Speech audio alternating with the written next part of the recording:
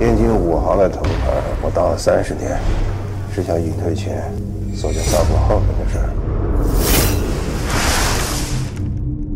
我在天津做的事，不要问，猜到了不要说。你得给我句话，见你的心意。不想打架了。